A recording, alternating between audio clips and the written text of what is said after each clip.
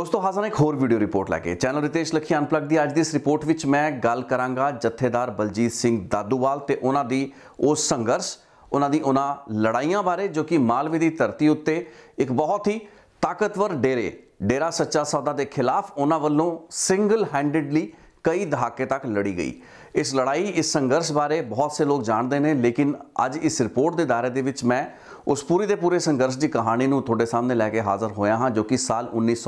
1997 ਤੋਂ ਸ਼ੁਰੂ ਹੁੰਦੀ ਹੈ। ਜਥੇਦਾਰ ਬਲਜੀਤ ਸਿੰਘ ਦਾਦੂਵਾਲ ਇੱਕ ਮੁਤਵਾਜ਼ੀ ਜਥੇਦਾਰ ਨੇ। ਇੱਕ ਵਿਵਾਦਿਤ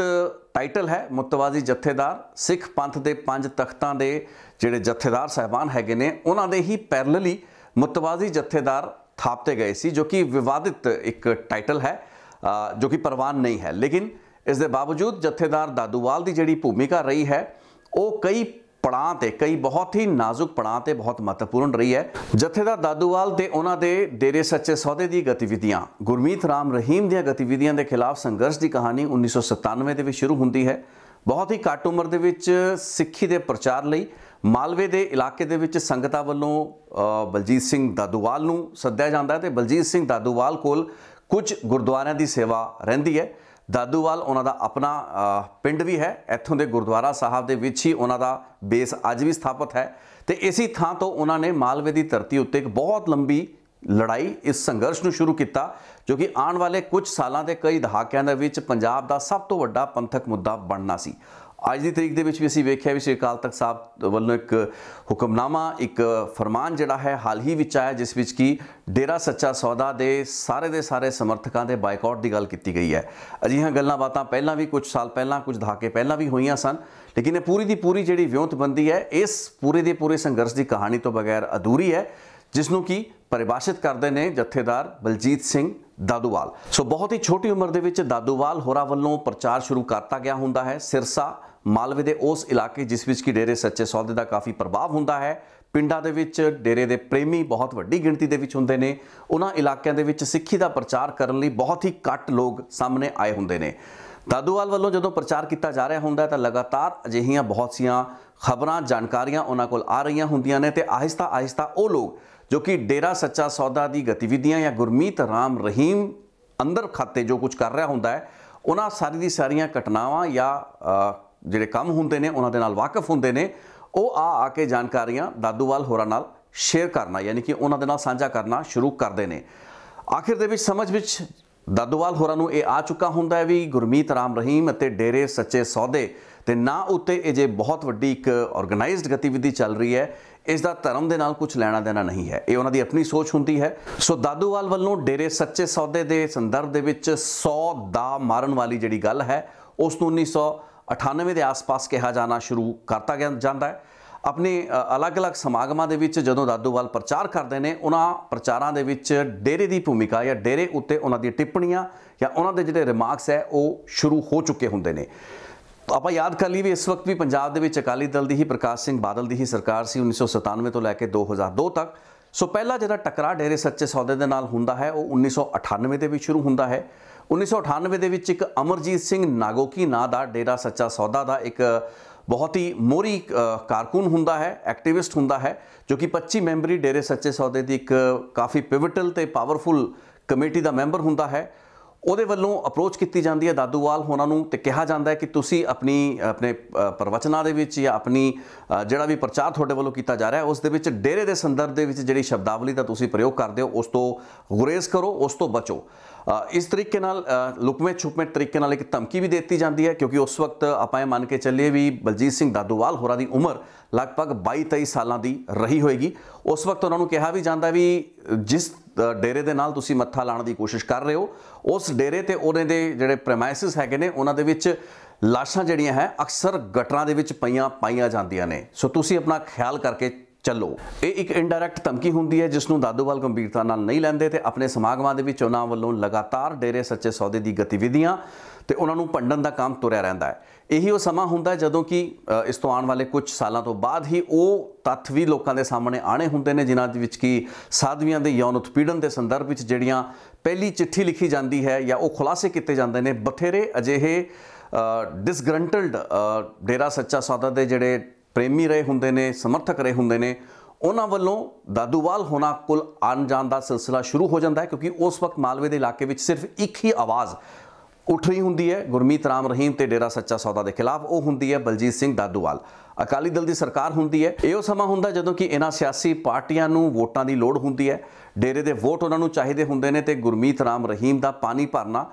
ਵੱਡੀ ਵੱਡੀ ਪੋਲੀਟੀਕਲ ਪਾਰਟੀਆਂ ਤੇ ਉਹਨਾਂ ਦੇ ਲੀਡਰਾਂ ਦੀ ਮਜਬੂਰੀ ਵੀ ਹੁੰਦੀ ਹੈ ਤੇ ਉਹਨਾਂ ਦਾ ਲਾਲਚ ਵੀ ਹੁੰਦਾ ਹੈ। ਲੇਕਿਨ ਇਸ ਵਕਤ ਉਹ ਆਵਾਜ਼ ਜਿਹੜੀ ਅਹ ਡੇਰੇ ਸੱਚੇ ਸੌਦੇ ਦੇ ਖਿਲਾਫ ਉੱਠਣੀ ਸ਼ੁਰੂ ਹੋ ਚੁੱਕੀ ਹੁੰਦੀ ਹੈ ਦਾਦੂਵਾਲ ਦੀ ਆਵਾਜ਼ ਤਾਂ ਗੁਰਮੀਤ ਰਾਮ ਰਹੀਮ ਤੇ ਡੇਰੇ ਦੇ ਖਿਲਾਫ ਉੱਠਣੀ ਸ਼ੁਰੂ ਹੋ ਚੁੱਕੀ ਹੁੰਦੀ ਹੈ ਲੇਕਿਨ ਇਸ ਮੌਕੇ ਤੇ ਵੀ ਪੰਥਕ ਅਖਵਾਣ ਵਾਲੀ ਪਾਰਟੀ ਅਕਾਲੀ ਦਲ ਜਾਂ ਫਿਰ ਉਸੇ ਦੀ ਸਰਕਾਰ ਵੱਲੋਂ ਉਹ ਉਹਨਾਂ तमाम ਗੱਲਾਂ ਬਾਤਾਂ ਨੂੰ ਬਿਲਕੁਲ ਅੱਖੋਂ ਪਰੋਖੇ ਕਰਤਾ ਜਾਂਦਾ ਹੈ ਜਿਸ ਤਹਿਤ ਕਿ ਗੁਰਮੀਤ ਰਾਮ ਰਹੀਮ ਤੇ ਉਹਨਾਂ ਦੇ ਅ, ਜਿਹੜੇ ਸਮਾਗਮ ਹੁੰਦੇ ਨੇ, ਉਹਨਾਂ ਦੇ ਵਿੱਚ ਸ੍ਰੀ ਗੁਰੂ ਗ੍ਰੰਥ ਸਾਹਿਬ ਜਾਂ ਸਿੱਖ ਧਰਮ ਦੇ ਪ੍ਰਤੀ ਇੱਕ ਚੰਗੀ ਜਿਹੜੀ ਸ਼ਬਦਾਵਲੀ ਹੈ, ਉਸ ਦੀ ਵਰਤੋਂ ਘੱਟ ਹੋ ਰਹੀ ਹੁੰਦੀ ਹੈ। ਇੱਕ ਤਰੀਕੇ ਦਾ ਪੈਰਲਲ ਜਿਹੜਾ ਹੈ, ਆਪਣੇ ਆਪ ਨੂੰ ਸੈਕਟ ਬਣਾ ਕੇ ਹੀ ਗੁਰਮੀਤ ਰਾਮ ਰਹੀਮ ਤੇ ਡੇਰਾ ਸੱਚਾ ਸੌਦਾ ਤੁਰ ਰਿਹਾ ਹੁੰਦਾ ਹੈ। ਉਸ ਇਲਾਕੇ ਦੇ ਵਿੱਚ ਇਹੀ ਕਾਰਨ ਹੁੰਦਾ ਹੈ ਵੀ ਬਲਜੀਤ ਸਿੰਘ ਦਾਦੂਵਾਲ ਵੱਲੋਂ ਇੱਕ ਬਹੁਤ ਹੀ ਤਿੱਖੇ ਪੱਧਰ ਦਾ ਜਿਹੜਾ ਵਿਰੋਧ ਹੈ, ਉਸੇ ਦੌਰ ਵੀ ਸ਼ੁਰੂ ਹੋ ਜਾਂਦਾ ਹੈ। ਅਮਰਜੀਤ ਸਿੰਘ ਨਾਗੋਕੀ ਵੱਲੋਂ ਇਸ ਜਿਹੜੀ ਧਮਕੀ ਇੱਕ ਤਰੀਕੇ ਦੀ ਦਿੱਤੀ ਗਈ ਹੁੰਦੀ ਹੈ ਦਾਦੂਵਾਲ ਹੋਰਾਂ ਨੂੰ, ਉਸ ਤੋਂ ਬਾਅਦ ਦਾਦੂਵਾਲ ਦੇ ਤੇਵਰ ਹੋਰ ਤਿੱਖੇ ਹੋ ਜਾਂਦੇ ਨੇ। ਦਸੰਬਰ 1998 ਦੇ ਵਿੱਚ ਇੱਕ ਧਾਰਮਿਕ ਜਿਹੜਾ ਦੀਵਾਨ ਹੈ, ਉਸ ਦਾ ਆਯੋਜਨ ਕੀਤਾ ਜਾਣਾ ਹੁੰਦਾ ਹੈ। ਕੋਟ ਫੱਤਾ ਪਿੰਡ ਹੁੰਦਾ ਜਿੱਥੇ ਕਿ ਇਹ ਧਾਰਮਿਕ ਦੀਵਾਨ ਦਾ ਆਯੋਜਨ ਕੀਤਾ ਜਾਣਾ ਹੁੰਦਾ ਲੇਕਿਨ ਇਸ ਤੋਂ ਪਹਿਲਾਂ ਹੀ ਸਰਕਾਰ ਤੇ ਮੇਨ ਜਿਹੜੀ ਸਿਆਸੀ ਪਾਰਟੀ ਅਕਾਲੀ ਦਲ ਹੁੰਦੀ ਹੈ, ਉਸ ਨੂੰ ਹੱਥਾਂ ਪੈਰਾਂ ਦੀ ਪਈ ਹੁੰਦੀ ਹੈ ਤੇ ਸਾਰੇ ਦੇ ਸਾਰੇ ਡਿਸਟ੍ਰਿਕਟ ਐਡਮਿਨਿਸਟ੍ਰੇਸ਼ਨ ਨੂੰ ਤਲਵੰਡੀ ਸਾਬੋ ਦੀ ਪੁਲਿਸ ਨੂੰ ਇਹ ਹਦਾਇਤਾਂ ਦਿੱਤੀਆਂ ਗਈਆਂ ਹੁੰਦੀਆਂ ਨੇ ਵੀ ਇਸ ਸਮਾਗਮ ਨੂੰ ਕਿਸੇ ਵੀ ਤਰੀਕੇ ਨਾਲ ਨਹੀਂ ਹੋਣ ਦੇਣਾ। 19 ਤੇ 20 ਦਸੰਬਰ ਦਾ ਸਮਾਗਮ ਹੁੰਦਾ ਜਿਸ ਨੂੰ ਕਿ ਰੋਕਣ ਦੀ ਹਰ ਕੋਸ਼ਿਸ਼ ਕੀਤੀ ਜਾਂਦੀ ਹੈ ਪ੍ਰਸ਼ਾਸਨ ਵੱਲੋਂ ਪੁਲਿਸ ਤੰਤਰ ਵੱਲੋਂ। 20 ਦਸੰਬਰ ਨੂੰ ਸਥਾਨਕ ਗੁਰੂ ਨਾਨਕ ਬਾੜੀ ਦਾ ਨੀਂਹ ਪੱਥਰ ਰੱਖਣ ਤੋਂ ਬਾਅਦ ਅ, 25 ਆਪਣੇ ਸਮਰਥਕਾਂ ਸਮੇਤ ਬਲਜੀਤ ਸਿੰਘ ਦਾਦੋਵਾਲ ਹੋਰਾਂ ਨੂੰ ਤਲਵੰਡੀ ਪੁਲਿਸ ਵੱਲੋਂ ਗ੍ਰਿਫਤਾਰ ਕਰ ਲਿਆ ਜਾਂਦਾ ਹੈ। ਉਸ ਵਕਤ ਜਿਹੜੇ ਦਰਸ਼ਨ ਸਿੰਘ ਸੰਧੂ ਡੀਐਸਪੀ ਹੁੰਦੇ ਨੇ, ਹਰਦੀਪ ਸਿੰਘ ਪਾਓ ਐਸਪੀ ਹੁੰਦੇ ਨੇ ਤੇ ਹਰਨੇਕ ਸਿੰਘ ਸਰਾਂ ਉਸ ਵਕਤ ਐਸਪੀ ਹੁੰਦੇ ਨੇ ਜ਼ਿਲ੍ਹੇ ਦੇ। ਸੋ ਗ੍ਰਿਫਤਾਰ ਕਰਕੇ ਜਾਂ ਡਿਟੇਨ ਕਰਕੇ ਜਿਹੜਾ ਹੈ ਦਾਦੂਵਾਲ ਹੋਰਾਂ ਨੂੰ ਲਿਜਾਇਆ ਜਾਂਦਾ ਹੈ, ਤਲਵੰਡੀ ਸਾਬੋ ਰੱਖਿਆ ਜਾਂਦਾ ਹੈ ਤੇ ਬਾਅਦ ਦੇ ਵਿੱਚ ਉਹਨਾਂ ਨੂੰ ਛੱਡਤਾ ਜਾਂਦਾ ਹੈ। ਇਹ ਪਹਿਲੀ ਅਜਿਹੀ ਟਕਰਾਅ ਕਹਿ ਲਈਏ, ਇਹਨੂੰ ਗ੍ਰਿਫਤਾਰੀ ਕਹਿ ਲਈਏ ਜਾਂ ਡਿਟੈਂਸ਼ਨ ਕਹਿ ਲਈਏ, ਜਿਸ ਦਾ ਸਾਹਮਣਾ ਬਲਜੀਤ ਸਿੰਘ ਦਾਦੂਵਾਲ ਨੂੰ ਕਰਨਾ ਪੈਂਦਾ ਤੇ ਉਹਨਾਂ ਨੂੰ ਇਸ ਚੀਜ਼ ਦਾ ਅੰਦਾਜ਼ਾ ਇਸ ਵਕਤ ਤੱਕ ਨਹੀਂ ਹੁੰਦਾ ਵੀ ਆਉਣ ਵਾਲੇ ਕੁਝ ਸਾਲਾਂ। ਜਿੰਨੀ ਦੇਰ ਤੱਕ ਅਕਾਲੀ ਸਰਕਾਰ ਨੇ ਯਾਨੀ ਕਿ ਸਾਲ 2002 ਤੱਕ ਰਹਿਣਾ ਹੁੰਦਾ ਹੈ, ਤੇ ਉਸ ਤੋਂ ਬਾਅਦ 2007 ਤੋਂ ਬਾਅਦ ਫਿਰ ਅਕਾਲੀ ਸਰਕਾਰ ਨਹੀਂ ਆਣਾ ਹੁੰਦਾ ਹੈ। ਅਕਾਲੀ ਸਰਕਾਰਾਂ ਦੇ ਵਕਤਾਂ ਦੇ ਉੱਤੇ ਉਹਨਾਂ ਨੂੰ ਕਿਸ ਤਰੀਕੇ ਦੀਆਂ ਔਕੜਾਂ ਦਾ ਸਾਹਮਣਾ ਕਰਨਾ ਪੈਣਾ ਜਦੋਂ ਕਿ ਉਹ ਡੇਰੇ ਸੱਚੇ ਸੌਦੇ ਦੀ ਮੁਖਾਲਫਤ ਕਰਨਗੇ। ਸੋ ਇਹ ਤਾਂ ਕਹਾਣੀ 1997 ਤੇ 98 ਦੇ ਉਸ ਟਕਰਾਅ ਦੀ ਸਥਿਤੀ ਦੀ ਹੈ ਜੋ ਕਿ ਉਹਨਾਂ ਸਮਿਆਂ ਦੇ ਵਿੱਚ ਸ਼ੁਰੂ ਹੁੰਦੀ ਹੈ। ਲੇਕਿਨ ਉਸ ਤੋਂ ਬਾਅਦ ਵੀ ਛੋਟੀਆਂ-ਮੋਟੀਆਂ ਘਟਨਾਵਾਂ ਤੁਰਦੀਆਂ ਰਹਿੰਦੀਆਂ ਨੇ। ਸਾਲ 2002 ਦੇ ਵਿੱਚ ਕੈਪਟਨ ਅਮਰਿੰਦਰ ਸਿੰਘ ਦੀ ਸਰਕਾਰ ਆਂਦੀ ਹੈ ਤੇ ਉਹ ਸਰਕਾਰ ਬਣਨ ਦੇ ਵਿੱਚ ਵੀ ਡੇਰੇ ਸੱਚੇ ਸੌਦੇ ਤੇ ਸਿਆਸੀ ਜਿਹੜੀ ਸਪੋਰਟ ਹੁੰਦੀ ਹੈ, ਉਸ ਦਾ ਬਹੁਤ ਵੱਡਾ ਹੱਥ ਹੁੰਦਾ ਹੈ। 2002 ਤੋਂ ਲੈ ਕੇ 2007 ਤੱਕ ਕੋਈ ਵੱਡੀ ਜਿਹੜੀ ਘਟਨਾ, ਕੋਈ ਵੱਡੀ ਟਕਰਾਅ ਦੀ ਸਥਿਤੀ ਨਹੀਂ ਹੁੰਦੀ। ਲੇਕਿਨ 2007 ਦੇ ਵਿੱਚ ਅਕਾਲੀ ਸਰਕਾਰ ਦੁਬਾਰਾ ਆ ਜਾਂਦੀ ਹੈ, ਜਿਸ ਤੋਂ ਬਾਅਦ ਕਿ ਡੇਰੇ ਸੱਚੇ ਸੌਦੇ ਦੇ ਖਿਲਾਫ ਐਸਜੀਪੀਸੀ ਅਤੇ ਅਕਾਲੀ ਦਲ ਇੱਕ ਮਿੱਥ ਕੇ ਜਿਹੜਾ ਇੱਕ ਪ੍ਰੋਗਰਾਮ ਹੈ ਆਰਗੇਨਾਈਜ਼ ਕਰਕੇ ਵਿਰੋਧਤਾ ਹੈ, ਉਸ ਦਾ ਸਿਲਸਿਲਾ ਸ਼ੁਰੂ ਕਰਦੇ ਨੇ। ਤੇ ਇਸੇ ਦੌਰਾਨ ਉਹ ਪੋਸ਼ਾਕ ਕਾਂਡ ਵੀ ਹੁੰਦਾ ਹੈ, ਜਿਸ ਤਹਿਤ ਕਿ ਸ੍ਰੀ ਗੁਰੂ ਗੋਬਿੰਦ ਸਿੰਘ ਜੀ ਦੀ ਜਿਹੜੀ, ਜਿਹੜਾ ਬਾਣਾ ਹੈ, ਉਹਨਾਂ ਦੀ ਜਿਹੜੀ ਵੇਸ਼ਭੂਸ਼ਾ ਹੈ, ਉਸ ਨੂੰ ਧਾਰਨ ਕਰਨ ਦਾ ਇੱਕ ਅਡੰਬਰ ਜਾਂ ਪਖੰਡ ਹੈ। ਉਹ ਗੁਰਮੀਤ ਰਾਮ ਰਹੀਮ ਵੱਲੋਂ ਆਪਣੇ ਇੱਕ ਡੇਰੇ ਵਿੱਚ ਕੀਤਾ ਜਾਂਦਾ ਹੈ। ਉਸ ਉੱਤੇ ਅਲੱਗ ਰਿਪੋਰਟਾਂ ਬਣ ਚੁੱਕੀਆਂ ਨੇ। ਲੇਕਿਨ 2007 ਦਾ ਮੌਕਾ, ਇੱਕ ਅਜਿਹਾ ਮੌਕਾ ਹੁੰਦਾ ਜਦੋਂ ਕਿ ਬਲਜੀਤ ਸਿੰਘ ਦਾਦੂਵਾਲ ਹੋਰਾਂ ਵੱਲੋਂ ਦੁਬਾਰਾ ਤੋਂ ਡੇਰੇ ਦੀ ਗਤੀਵਿਧੀਆਂ ਦਾ ਵਿਰੋਧ ਹੋਰ ਤਿੱਖੇ ਤਰੀਕੇ ਨਾਲ ਸ਼ੁਰੂ ਹੋ ਜਾਂਦਾ ਹੈ ਤੇ ਇਸ ਵਕਤ ਕੁਝ ਹੱਦ ਤੱਕ ਉਹਨਾਂ ਨੂੰ ਸਪੋਰਟ ਮਿਲ ਰਹੀ ਹੁੰਦੀ ਹੈ ਅਕਾਲੀ ਦਲ ਦੀ ਜਾਂ ਸਰਕਾਰ ਦੀ, ਜੋ ਕਿ ਇੱਕ ਤਰੀਕੇ ਨਾਲ ਖੁਦ ਵੀ ਡੇਰੇ ਸੱਚੇ ਸੌਦੇ ਦੇ ਖਿਲਾਫ ਆਉਣ ਵਾਲੇ 1 ਡੇਢ 2 ਸਾਲ ਰਹਿਣ ਵਾਲੀ ਹੁੰਦੀ ਹੈ। ਜਦ ਤੱਕ ਉਹਨਾਂ ਦੀ ਉਹ ਅੰਦਰ ਖਾਤੇ ਦੀ ਜਿਹੜੀ ਸੈਟਿੰਗ ਸੀ, ਡੇਰੇ ਸੱਚੇ ਸੌਦੇ ਜਾਂ ਗੁਰਮੀਤ ਰਾਮ ਰਹੀਮ ਨਾਲ ਨਹੀਂ ਹੋ ਗਈ। ਇਸ ਦੌਰਾਨ ਟਕਰਾਅ ਦੇ ਕਈ ਐਸੇ ਮੌਕੇ ਆਉਂਦੇ ਨੇ, ਕਈ ਐਸੇ ਧਾਰਮਿਕ ਜਿਹੜੇ ਦੀਵਾਨ ਜਾਂ ਤਾਂ ਡੇਰੇ ਸੱਚੇ ਸੌਦੇ ਵੱਲੋਂ ਲਾਏ ਜਾਣੇ ਹੁੰਦੇ ਨੇ। ਉਹਨਾਂ ਦੇ ਹੀ ਪੈਰਲਲ ਦੀਵਾਨ ਜਿਹੜੇ ਹੁੰਦੇ ਨੇ, ਉਹ ਬਲਜੀਤ ਸਿੰਘ ਦਾਦੂਵਾਲ ਅਨਾਉਂਸ ਕਰ ਦਿੰਦੇ ਹੁੰਦੇ ਨੇ। ਇੱਕ ਅਜਿਹਾ ਹੀ ਮੌਕਾ ਹੁੰਦਾ ਹੈ 2007 ਦੇ ਵਿੱਚ, ਜਦੋਂ ਕਿ ਬਦਰਾਲਿਕ ਜਿਹੜਾ ਪਿੰਡ ਹੁੰਦਾ ਹੈ, ਰਾਜਸਥਾਨ ਦਾ ਪਿੰਡ ਹੁੰਦਾ ਹੈ, ਉੱਥੇ ਇੱਕ ਪਾਸੇ ਗੁਰਮੀਤ ਰਾਮ ਰਹੀਮ ਤੇ ਡੇਰੇ ਸੱਚੇ ਸੌਦੇ ਦਾ ਦੀਵਾਨ ਲੱਗਣਾ ਹੁੰਦਾ ਹੈ ਤੇ ਨਾਲ ਹੀ ਉਸ ਤੇ ਬਲਜੀਤ ਸਿੰਘ ਦਾਦੂਵਾਲ ਆਪਣਾ, ਆਪਣੇ ਆਪਣੇ ਸਮਰਥਕਾਂ ਨੂੰ ਲੈ ਕੇ ਪਹੁੰਚ ਜਾਂਦੇ ਨੇ ਤੇ ਇੱਕ ਪੈਰਲਲ ਦੀਵਾਨ ਜਿਹੜਾ ਹੈ ਉਸ ਦੀ ਇੱਕ ਤਰੀਕੇ ਦੀ ਜਿਹੜਾ ਬਿਲਡ ਅਪ ਹੈ, ਉਹ ਹੋ ਚੁੱਕਾ ਹੁੰਦਾ ਲੇਕਿਨ ਇਸ ਮੌਕੇ ਤੇ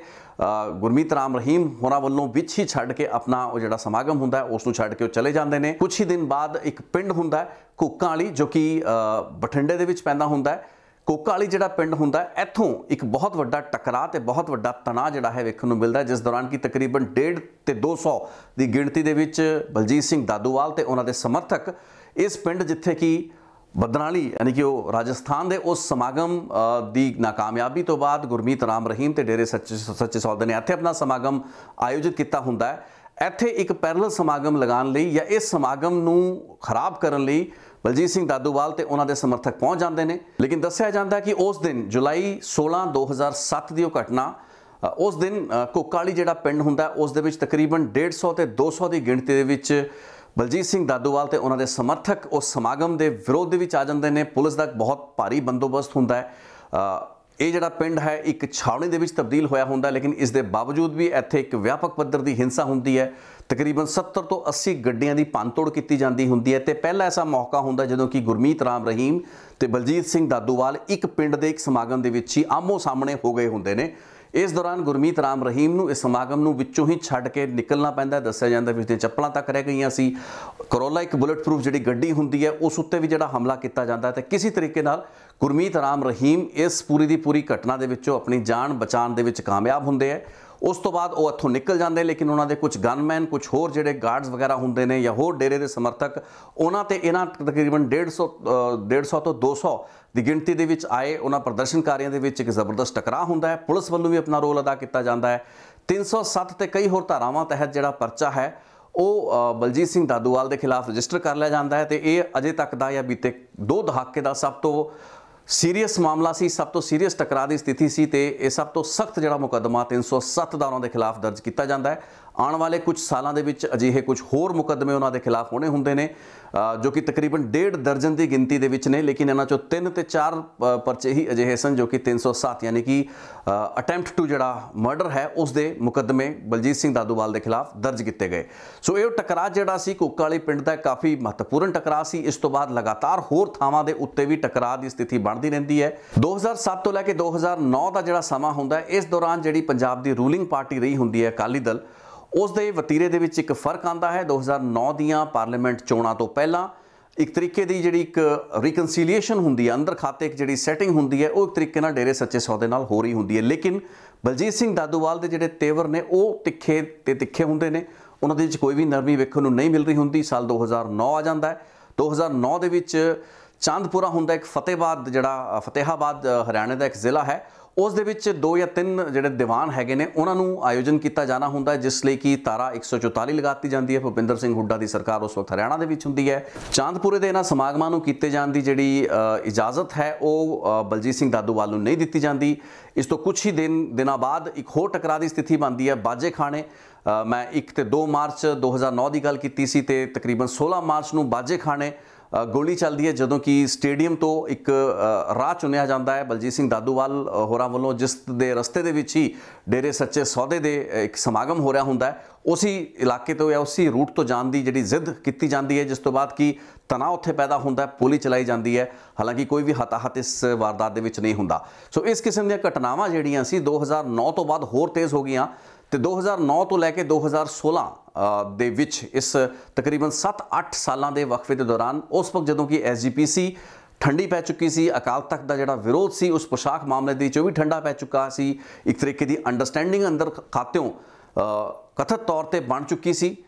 ਅਕਾਲੀ ਦਲ ਦੀ ਲੀਡਰਸ਼ਿਪ ਤੇ ਡੇਰੇ ਸੱਚੇ ਸੌਦੇ ਦੀ ਜਿਹੜੀ ਮੈਨੇਜਮੈਂਟ ਹੈ, ਮੈਂ ਪਹਿਲਾਂ ਵੀ ਰਿਪੋਰਟਾਂ ਬਣਾ ਚੁੱਕਾ ਹਾਂ, ਲੇਕਿਨ ਬਲਜੀਤ ਸਿੰਘ ਦਾਦੂਵਾਲ ਵੱਲੋਂ ਜਿਹੜਾ ਵਿਰੋਧ ਸੀ, ਉਹਨਾਂ ਦਾ ਸਿਲਸਿਲਾ ਜਿਹੜਾ ਸੀਗਾ ਆਪਣੇ ਧਾਰਮਿਕ ਦੀਵਾਨਾਂ ਦੇ ਵਿੱਚ ਪੰਡਣ ਦਾ ਗੁਰਮੀਤ ਰਾਮ ਰਹੀਮ ਜਾਂ ਫਿਰ ਡੇਰੇ ਸੱਚੇ ਸੌਦੇ ਦੀ ਗਤੀਵਿਧੀਆਂ ਨੂੰ ਉਹ ਜਾਰੀ ਦਾ ਜਾਰੀ ਰਿਹਾ ਤੇ ਇਸ ਤੋਂ ਬਾਅਦ ਤਕਰੀਬਨ ਡੇਢ ਦਰਜਨ ਫੌਜਦਾਰੀ ਦੇ ਅਲੱਗ-ਅਲੱਗ ਧਾਰਾਵਾਂ ਤਹਿਤ ਮੁਕੱਦਮੇ ਜਿਹੜੇ ਸੀ, ਉਹ ਬਲਜੀਤ ਸਿੰਘ ਦਾਦੂਵਾਲ ਨੂੰ ਚੱਲਣੇ ਪਏ। 1998 ਦੇ ਵਿੱਚ ਪਹਿਲੀ ਵਾਰ ਪੁਲਿਸ ਵੱਲੋਂ ਹਿਰਾਸਤ ਵਿੱਚ ਲਏ ਜਾਣ ਉਸ ਕੋਟ ਫੱਤਾ ਪਿੰਡ ਦੀ ਘਟਨਾ ਤੋਂ ਲੈ ਕੇ ਸਾਲ 2009 ਜਦੋਂ ਕਿ ਪਹਿਲੀ ਵਾਰ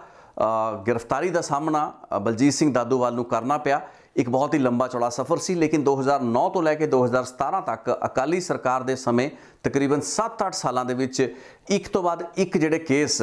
ਸੈਕਸ਼ਨ 107 151 ਦਾ ਜਿਹੜਾ ਜ਼ਿਆਦਾਤਰ ਕਾਮਨ ਇੱਕ ਪਰਚਾ ਸੀ, ਉਹ ਦਰਜ ਕਰ ਲਿਆ ਜਾਂਦਾ ਸੀਗਾ। ਬਥੇਰੀ ਐਸੀ ਘਟਨਾਵਾਂ ਜਾਂ ਬਥੇਰੀਆਂ ਐਸੀਆਂ ਸਥਿਤੀਆਂ ਦਾ ਵੀ ਸਾਹਮਣਾ ਜਿਹੜਾ ਬਲਜੀਤ ਸਿੰਘ ਦਾਦੂਵਾਲ ਹੋਰਾਂ ਨੂੰ ਕਰਨਾ ਪਿਆ, ਜਦੋਂ ਕਿ ਉਹਨਾਂ ਦੇ ਆਪਣੇ ਵੱਲੋਂ ਸੰਚਾਲਿਤ ਕੀਤੇ ਜਾ ਰਹੇ ਡੇਰੇ ਜਾਂ ਆਪਣੇ ਵੱਲੋਂ ਜਿਹੜੇ ਜਿਹੜੇ ਗੁਰਦੁਆ- ਗੁਰਦੁਆਰੇ ਸਨ, ਉਹਨਾਂ ਦੀ ਸਾਂਭ ਸੰਭਾਲ ਉਹਨਾਂ ਵੱਲੋਂ ਜਦੋਂ ਕੀਤੀ ਜਾ ਰਹੀ ਸੀ, ਉਸ ਉੱਤੇ ਵੀ ਐਸਜੀਪੀਸੀ ਨੇ ਆਪਣਾ ਕਬਜ਼ਾ ਕਰ ਲਿਆ ਸੀ।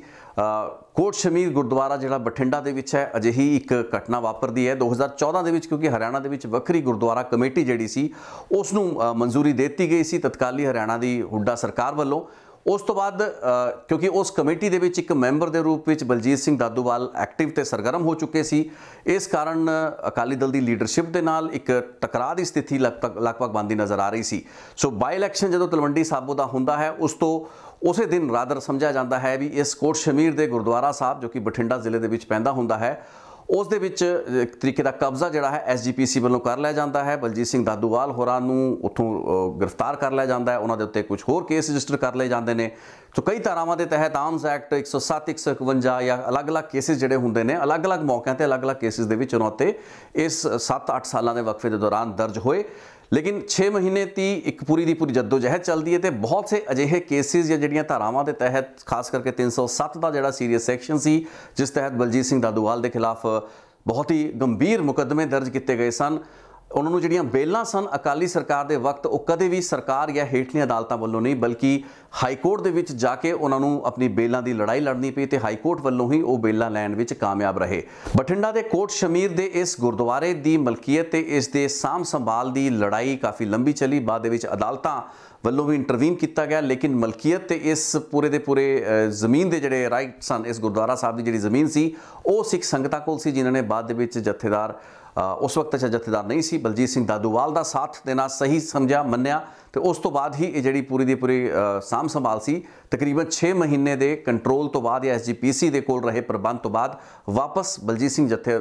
ਦਾਦੂਵਾਲ ਤੇ ਉਹਨਾਂ ਦੇ ਸਮਰਥਕਾਂ ਨੂੰ ਟਰਾਂਸਫਰ ਕੀਤੀ ਗਈ। ਸੋ ਇਸ ਤਰੀਕੇ ਦਾ ਸੰਘਰਸ਼ ਰਿਹਾ। ਇੱਕ ਪਾਸੇ ਫੌਜਦਾਰੀ ਮੁਕੱਦਮੇ 107 151 307 ਆਰਮਸ ਐਕਟ ਦੀਆਂ ਵੱਖ-ਵੱਖ ਧਾਰਾਵਾਂ ਤੇ ਦੂਸਰੇ ਪਾਸੇ ਉਹਨਾਂ ਦੇ ਆਪਣੇ ਜਿਹੜੇ ਗੁਰਦੁਆਰੇ ਗੁਰਦੁਆਰਾ ਗੁਰਧਾਮ ਸਨ ਜਿਨ੍ਹਾਂ ਦੇ ਸਾਂਭ ਸੰਭਾਲ ਉਹਨਾਂ ਕੋਲ ਸੀ। ਉਸ ਤੋਂ ਵੀ ਵਾਂਝਾ ਕਰਨ ਦੀਆਂ ਕੋਸ਼ਿਸ਼ਾਂ ਹੁੰਦੀਆਂ ਰਹੀਆਂ। ਲੇਕਿਨ ਬਲਜੀਤ ਸਿੰਘ ਦਾਦੂਵਾਲ ਡਟ ਕੇ ਆਪਣੀ ਲੜਾਈ ਲੜਦੇ ਰਹੇ। ਬਾਅਦ ਦੇ ਵਿੱਚ ਜਦੋਂ ਸਰਬੱਤ ਖਾਲਸਾ ਆਯੋਜਿਤ ਕੀਤਾ ਜਾਂਦਾ ਹੈ, ਜੋ ਕਿ ਇੱਕ ਵਿਵਾਦਿਤ, ਕਈ ਵਿਵਾਦਿਤ ਫੈਸਲੇ ਲੈਂਦਾ ਜਿਸ ਤਹਿਤ ਕਿ ਅਲੱਗ-ਅਲੱਗ ਸਿੱਖ ਤਖਤਾਂ ਦੇ ਜਿਹੜੇ ਪੈਰਲਲ ਯਾਨੀ ਕਿ ਮੁਤਵਾਜ਼ੀ ਜਥੇਦਾਰਾਂ ਨੂੰ ਬਣਾਇਆ ਜਾਂਦਾ ਹੈ, ਉਹਨਾਂ ਚੋਂ ਇੱਕ ਮੁਤਵਾਜ਼ੀ ਜਥੇਦਾਰ ਬਲਜੀਤ ਸਿੰਘ ਦਾਦੂਵਾਲ ਹੋਰਾਂ ਨੂੰ ਬਣਾਇਆ ਜਾਂਦਾ ਹੈ। ਬਾਅਦ ਦੇ ਵਿੱਚ ਸਥਿਤੀਆਂ ਬਦਲੀਆਂ 2015 ਦੀਆਂ ਬੇਅਦਬੀ ਦੀਆਂ ਘਟਨਾਵਾਂ, ਆਪਾਂ ਸਾਰੀ ਰਿਪੋਰਟਸ ਨੂੰ ਬਹੁਤ ਵੇਰਵੇ ਦੇ ਨਾਲ ਡਿਸਕਸ ਕਰ ਚੁੱਕੇ ਹਾਂ, ਲੇਕਿਨ 2017 ਦੇ ਵਿੱਚ ਕੈਪਟਨ ਅਮਰਿੰਦਰ ਸਿੰਘ ਦੀ ਸਰਕਾਰ ਆਂਦੀ ਹੈ, justice Ranjit Singh inquiry commission ਬੈਠ ਜਾਂਦਾ ਹੈ, ਲੇਕਿਨ ਕਈ ਮਹੀਨੇ ਰਾਦਰ 1 ਸਾਲ ਜਾਂ ਸਵਾ ਸਾਲ ਬੀਤੇ ਜਾਣ ਤੋਂ ਬਾਅਦ ਵੀ ਜਸਟਿਸ ਰਣਜੀਤ ਸਿੰਘ ਕਮਿਸ਼ਨ ਦੀ ਤਿਆਰ ਰਿਪੋਰਟ ਨੂੰ ਵੀ ਕੈਪਟਨ ਅਮਰਿੰਦਰ ਸਿੰਘ ਐਕਸੈਪਟ ਨਹੀਂ ਕਰ ਰਹੇ ਹੁੰਦੇ, ਉਹਨਾਂ ਵੱਲੋਂ ਇੱਕ ਅਜੀਬ ਹੀ ਕਿਸਮ ਦਾ ਇੱਕ ਰਵੱਈਆ ਦਿਖਾਇਆ ਜਾ ਰਿਹਾ ਹੁੰਦਾ, ਜਿਸ ਤੋਂ ਬਾਅਦ ਕਿ ਬਰਗਾੜੀ ਦਾ ਜਿਹੜਾ ਮੋਰਚਾ ਹੈ ਉਸ ਨੂੰ ਅਨਾਉਂਸ ਕੀਤਾ ਜਾਂਦਾ ਹੈ। ਭਾਈ ਧਿਆਨ ਸਿੰਘ ਮੰਡ ਅਤੇ ਬਲਜੀਤ ਸਿੰਘ ਦਾਦੂਵਾਲ ਉਸ ਦੀ ਅਗਵਾਈ ਕਰਦੇ ਨੇ।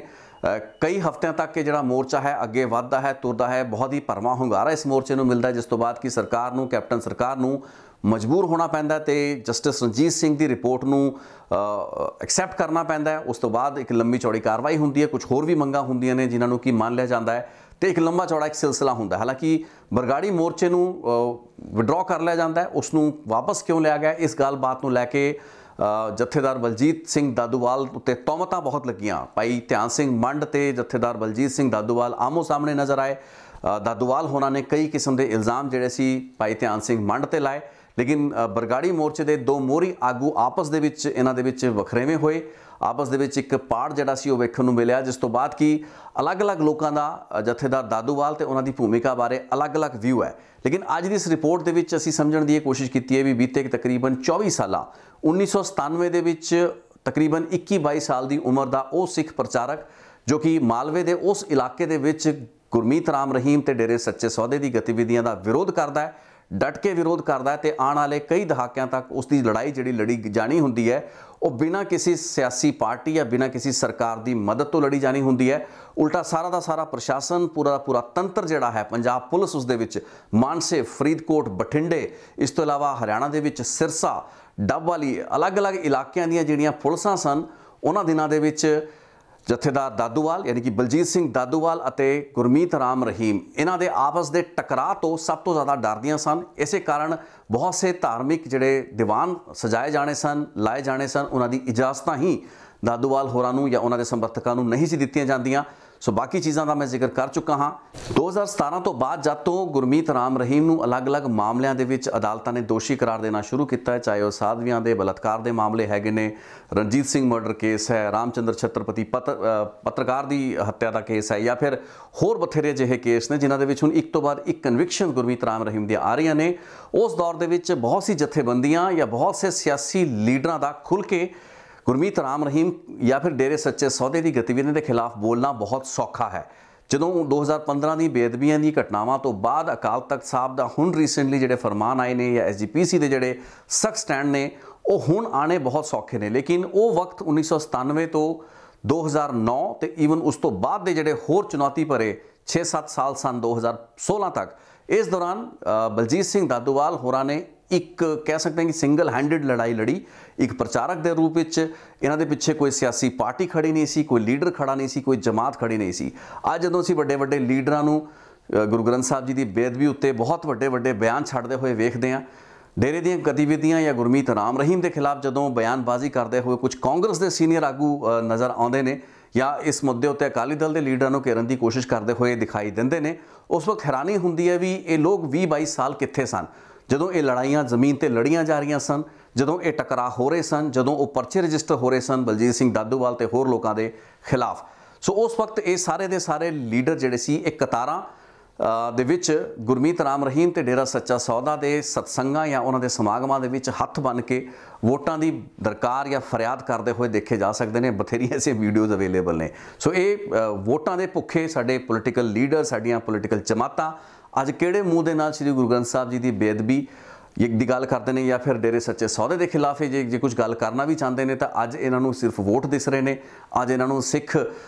ਪੰਥ ਦਾ ਉਹ ਵੋਟ ਬੈਂਕ ਨਜ਼ਰ ਆ ਰਿਹਾ ਹੈ ਜੋ ਕਿ ਆਪਣੇ ਆਪ ਤੋਂ ਖੁੱਸਣ ਦੇਣਾ ਨਹੀਂ ਚਾਹੁੰਦੇ। ਬਲਜੀਤ ਸਿੰਘ ਦਾਦੂਵਾਲ ਦਾ ਕਿਰਦਾਰ ਕੀ ਹੈ? 2017 ਤੇ ਇਸ ਬਰਗਾੜੀ ਮੋਰਚੇ ਨੂੰ ਚੁੱਕੇ ਜਾਣ ਦੇ ਵਿੱਚ ਜਿਹੜਾ ਇੱਕ ਵਿਵਾਦਿਤ ਫੈਸਲਾ ਲਿਆ ਗਿਆ, ਉਸ ਤੋਂ ਬਾਅਦ ਦੀ ਉਹਨਾਂ ਦੀ ਭੂਮਿਕਾ ਹੈ ਉਹਨਾਂ ਦੇ ਉੱਤੇ ਉਰਤਾ ਕਿੰਤੂ ਪਰੰਤੂ ਅੱਜ ਉਹ ਹਰਿਆਣਾ ਗੁਰਦੁਆਰਾ ਮੈਨੇਜਮੈਂਟ ਕਮੇਟੀ ਦੇ ਪ੍ਰਧਾਨ ਵੀ ਹੈਗੇ ਨੇ।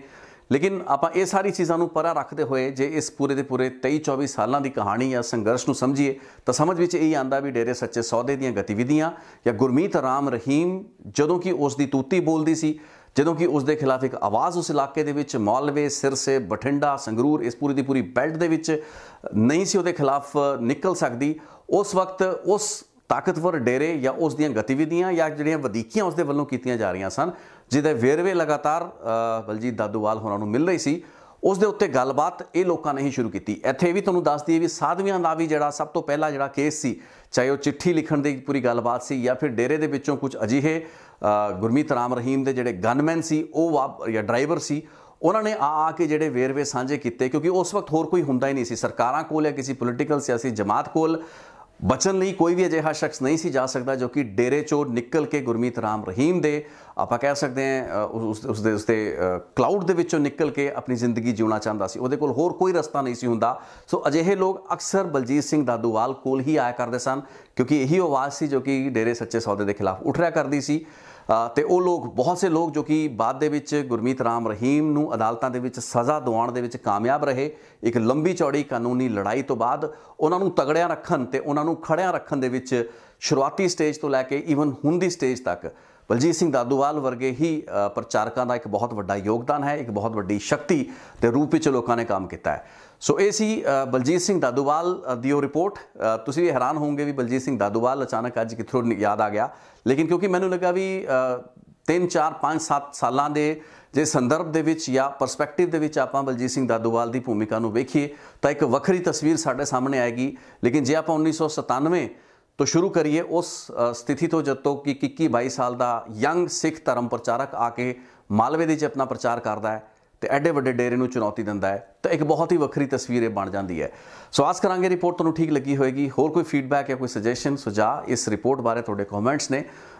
ਸ਼ਬਦਾਂ ਦੀ ਮਰਿਆਦਾ ਦਾ ਥੋੜਾ ਧਿਆਨ ਰੱਖਦਿਆਂ ਹੋਇਆ ਜ਼ਰੂਰ ਸਾਨੂੰ ਸਾਡੇ ਨਾਲ ਫੀਡਬੈਕ ਦੇ ਵਿੱਚ ਸ਼ੇਅਰ ਕਰੋ ਬਹੁਤ ਬਹੁਤ ਧੰਨਵਾਦ ਇਸ ਰਿਪੋਰਟ ਨੂੰ ਵੇਖਣ ਲਈ ਥੈਂਕ ਯੂ ਸੋ ਮਚ